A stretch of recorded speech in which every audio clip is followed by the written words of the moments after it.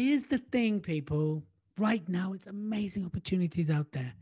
But I still see people doing the same old presenting, same old school, boring presenting, and the world has moved on. If you're not engaging, if you're not interesting, if you are not more giraffe, then people are going to switch off. And one of the greatest ways to be more giraffe is to use stories your personal story, your business story, success stories, your customer success stories, right? Your brand story. One of the greatest ways you can stand out. Can you tell I'm a little bit passionate about this? Is through stories.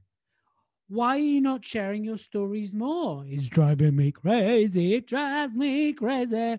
Ooh, ooh. It's driving me crazy. Why not sharing your stories more? There's so many ways you can tell a story. Share the story. Get out there. Be seen. Be heard. Share your story. And if you need help with that, reach out. Be seen, be heard. Always use your voice for good. And always be more giraffe.